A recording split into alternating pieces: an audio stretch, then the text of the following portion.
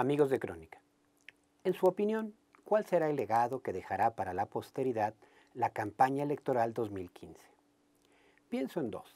El primero y más, digamos, anecdótico es el uso electoral del espionaje, la intervención de llamadas telefónicas, lo que antes se llamaba colocar pájaros en el alambre. Todo esto ha dado material de sobra para los profesionales de la información. Puro lodo, eso sí, pues nadie dice que como producto del espionaje descubrió que su rival es un alma de Dios que dona casi todo su dinero a obras de caridad. Para nada, se espía para desprestigiar, para mostrar que el rival es de lo peor. Esta vez, el espionaje también tocó al árbitro. Lorenzo Córdoba, presidente consejero del INE, recibió el golpe.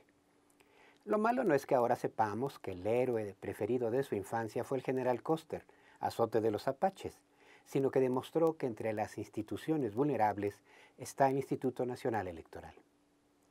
Otro legado de la campaña 2015, mucho más de fondo, mucho más serio, supone la comprobación, sin espacio para la duda, de que la clase política y los ciudadanos están distanciados casi al rompimiento. La gente no respeta a sus representantes porque piensa que ellos, los políticos, no respetan a los ciudadanos. En consecuencia, el abstencionismo esta vez no solo será fruto del desinterés, sino muestra de un franco rechazo.